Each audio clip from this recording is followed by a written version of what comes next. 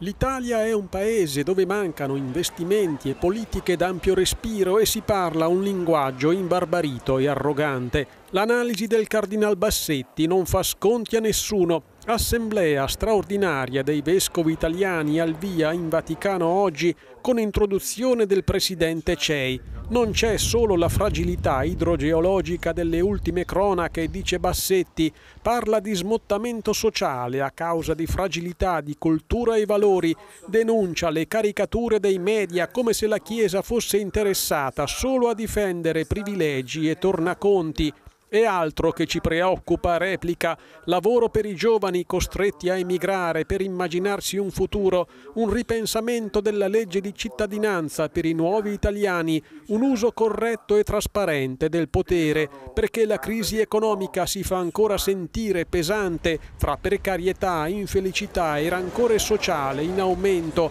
ma se l'Italia ammonisce Bassetti, rinnega se stessa, i suoi valori e la democrazia, un'Italia di riserva riserva non c'è. Se si sbagliano i conti non c'è una banca di riserva che ci salverà, né un'Europa di riserva contro il rischio dei nazionalismi. In agenda fino a giovedì, dopo il dibattito sull'attualità italiana, l'approvazione del nuovo messale, con modifica forse già ampiamente discussa al non indurci in tentazione del Padre Nostro, poi linee guida per la tutela dei minori nella Chiesa, dove pesa, dice Bassetti, una cultura dell'autorità che esclude dalla partecipazione, specie i giovani, e a volte diventa anche abuso.